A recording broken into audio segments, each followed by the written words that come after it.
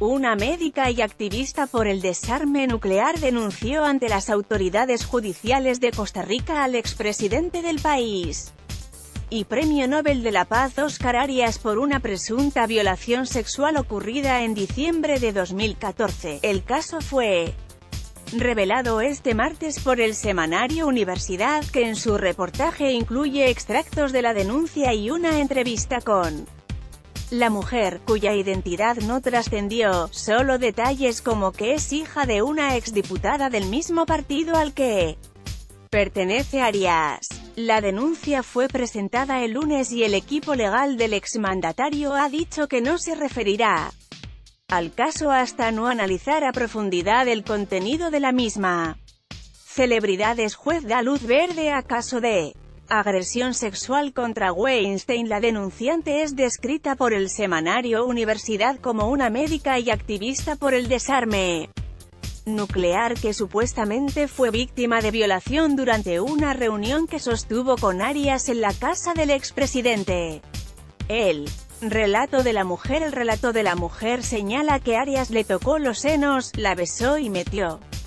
los dedos en su vagina, a pesar de que ella le pidió que se detuviera, yo estaba como que no sabía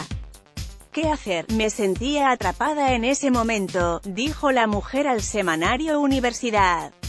Según la denunciante, Arias, presidente en dos periodos 1986 a 1990 y 2006 a 2010, salió de la oficina en la que estaban y le pidió ir a otro sitio.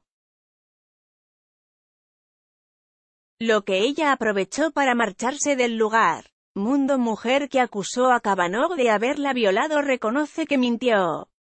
La médica tenía entonces 30 años de edad, lideraba la filial en Costa Rica de una ONG internacional dedicada al activismo para abolir las armas nucleares y había conocido al premio Nobel a través de su madre, quien fue diputada por el Partido Liberación Nacional, PLN, mismo al que pertenece Arias, señaló el semanario. Según el relato, ella asistió a la casa del exmandatario para entregarle una carpeta con información sobre la campaña antinuclear, pues él le estaba dando apoyo. A la causa, la médica asegura que, desde diciembre del 2014 hasta la fecha, pasó por diferentes estados de ánimo y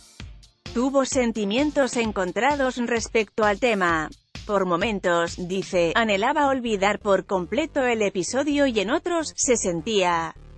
animada a interponer una denuncia pública o judicial, detalla el reportaje del semanario Universidad.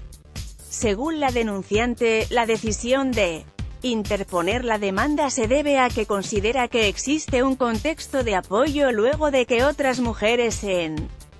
el mundo hicieron denuncias similares y fueron atendidas, indica el reportaje.